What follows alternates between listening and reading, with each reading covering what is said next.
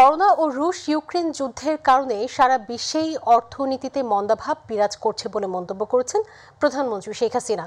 তবে দেশে খাদ্য নিরাপত্তা নিশ্চিতে ব্যবস্থা নেওয়া হয়েছে বলেও জানান তিনি।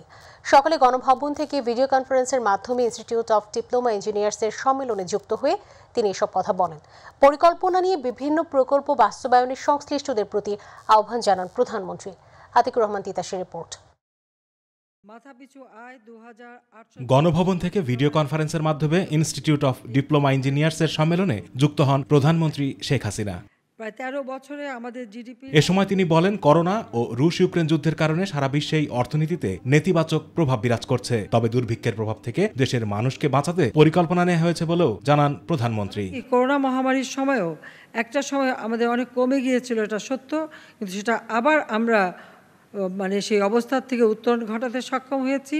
বর্তমানে এই ইউক্রেন যুদ্ধ এবং স্যাংশনের কারণে আমাদের যেমন পণ্য যা আমদানি করি, তার মূল্য যেমন অতিরিক্ত বৃদ্ধি পেয়েছে, পরিবহন খরচ বেড়ে গেছে এবং যে সমস্ত দেশে যুদ্ধ হয়, সেখান থেকে আমরা যা যা ক্রয় করি বা চলার পথে যে প্রতিবন্ধকতা সৃষ্টি হয়েছে, তার প্রভাব যেমন বিশ্ব অর্থনীতিতে পড়েছে, তা বাংলাদেশেও পড়েছে।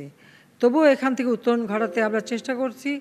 প্রধানমন্ত্রী বলেন দেশে খাদ্য নিরাপত্তা নিশ্চিতে ব্যবস্থা নেওয়া হয়েছে। এক ইঞ্চি জমিও অনাবাদি না রাখতে দেশবাসীর প্রতি আহ্বান জানান তিনি। সেই জন্যই আমি আহ্বান করেছি যে এক ইঞ্চি জমি যেন অনাবাদি না থাকে। সবাই যার যার কর্মস্থল থেকে শুরু করে নিজের বাড়িঘর গ্রামের সম- বাড়িঘর জমি জমা যেখানে যা আছে যে যা পারবেন কিছুটা উৎপাদন করবেন। সেখানে তরি তরকারি ফল মূল যা যা করা সম্ভব উৎপাদন আমাদের করতে হবে। যাতে করে আজকে যে সারা বিশ্বে একটা দুর্ভিক্ষের পদধ্বনি আমরা দেখতে পাচ্ছি এর প্রভাব থেকে আমাদের দেশের মানুষকে বাঁচাতে হবে। অহেতুক অর্থ ব্যয় না করে পরিকল্পনা নিয়ে বিভিন্ন প্রকল্প বাস্তবায়নে সংশ্লিষ্টদের প্রতি আহ্বান জানান সরকার প্রধান।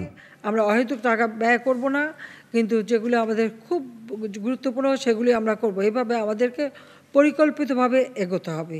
বিশ্বে বাংলাদেশি শ্রমিকদের নতুন নতুন শ্রমবাজার সন্ধান করা হচ্ছে বলেও জানান প্রধানমন্ত্রী শেখ হাসিনা। অঞ্চল থেকে শুরু করে সব মানুষকে আমরা সুন্দর জীবন দিই আতিকুর রহমান তিতাস মাই টিভি।